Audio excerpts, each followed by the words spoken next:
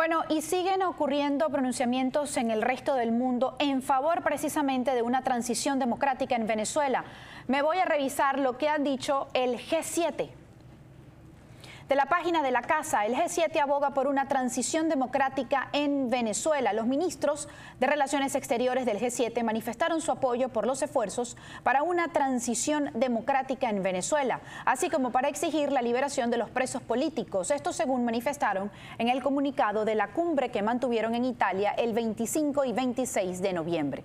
Seguiremos apoyando los esfuerzos de socios regionales para facilitar una transición democrática y pacífica con guía venezolana que garantice garantice el respeto a la voluntad de los electores. Esto dice la declaración final de la cumbre ministerial. El G7, como recordarán, está integrado por Alemania, Canadá, Estados Unidos, Francia, Italia, Japón y Reino Unido. Y aclaran que el pueblo venezolano se expresó en las elecciones presidenciales del pasado 28 de julio y que Edmundo González fue apoyado por una mayoría significativa.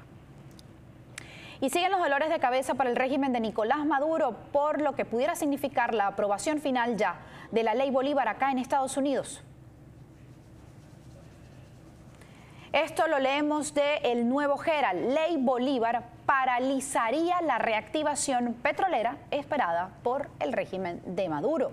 Y dice en este trabajo, esperando solo por el visto bueno del Senado de Estados Unidos, una propuesta llamada la Ley Bolívar propinaría un duro golpe a la reactivación de las operaciones de petróleo en Venezuela, incluyendo las encabezadas por Chevron, que reabrieron el mercado estadounidense al crudo venezolano. Esto lo dijeron asistentes legislativos vinculados con la iniciativa. Este proyecto de ley, aprobado la semana pasada unánimemente por la Cámara de Representantes, tiene previsto ser aprobado fácilmente en la Cámara Alta, donde cuenta con un amplio respaldo bipartidista.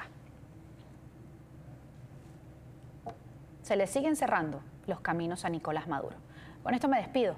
Chao, chao.